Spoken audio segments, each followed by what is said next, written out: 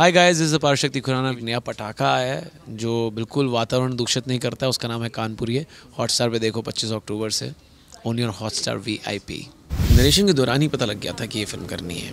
Because I think it's a very well written script and very tight script जो writer director है हमारे, वो कानपुर से हैं। और Kanpur is a very very कोकी in a very you know different world वहाँ पे जाएँगे आप तो लोग, आपको वहाँ पे यू नो फ्रॉम रिक्शे वाला टू आप किसी रेस्टोरेंट में चले जाएँ, अलग लेवल की बातें चल रही हैं वहाँ पर बहुत इंपॉर्टेंट है कि आपके आसपास अच्छे इंसान हो। आप खुद उससे अच्छे इंसान बनते हैं।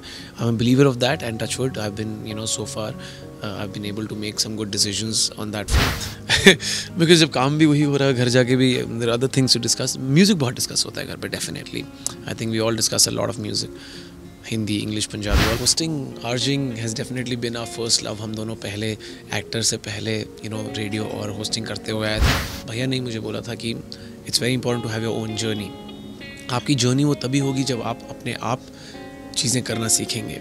सो so, वही मैं सीख रहा हूँ and I hope I you know I been able to make some right choices and I hope I I make some right choices in future as well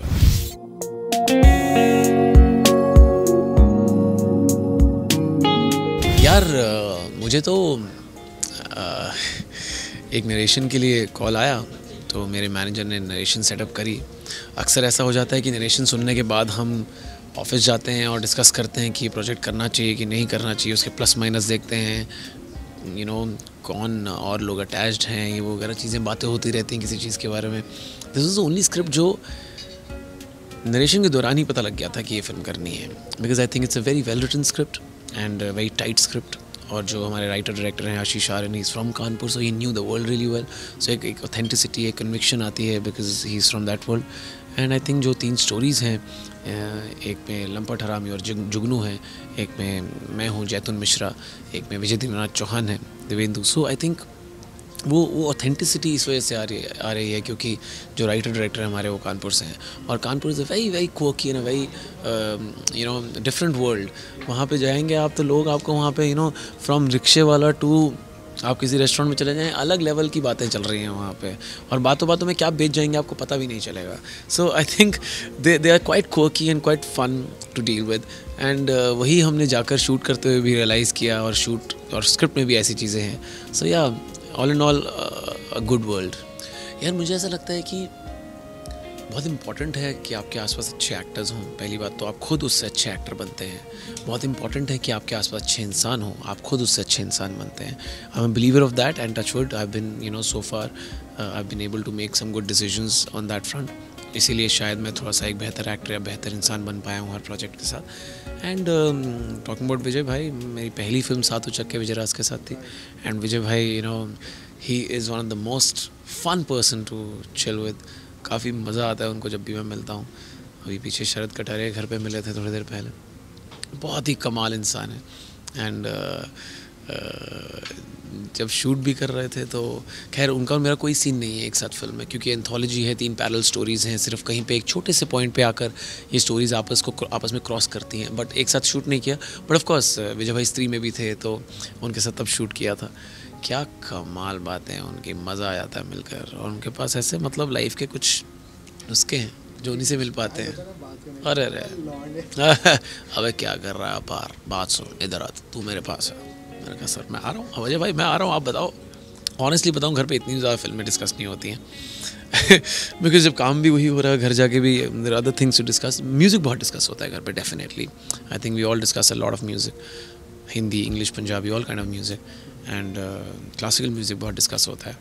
So because is certain kind of music you know in me in Ayush भैया in my father and you know मेरी wife की एक cousin है, सुनैना, वो classically train singer हैं उनके husband हैं, मुकेश तोमर, वो क्लासिकली ट्रेंड सिंगर हैं, मेरे भाभी के पापा गाते हैं, मेरी चाची गाती हैं।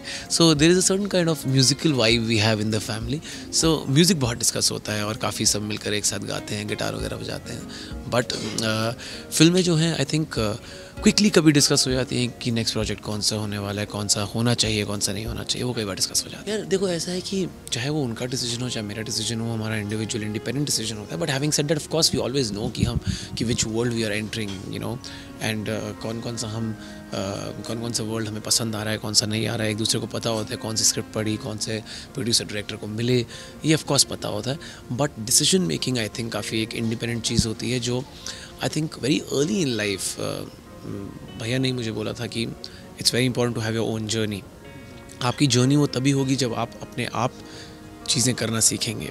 सो so, वही मैं सीख रहा हूँ and I hope I you know I been able to make some right choices and I hope I I make some right choices in future as well यार I think hosting urging has definitely been our first love हम दोनों पहले actor से पहले you know radio और hosting करते हुए आए थे.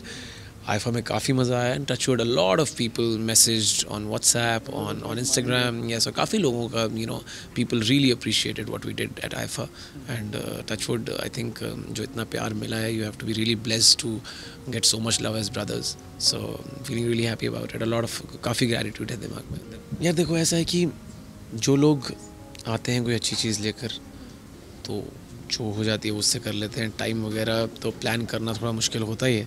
But of course having said that कभी कोई अच्छी फ़िल्म आ जाती है, कभी कोई अच्छा होस्टिंग वाला यू नो शो आ जाता है, कभी जो भी जो भी अच्छे लोग आकर कुछ ऑफ़र करते हैं I I try to work with good people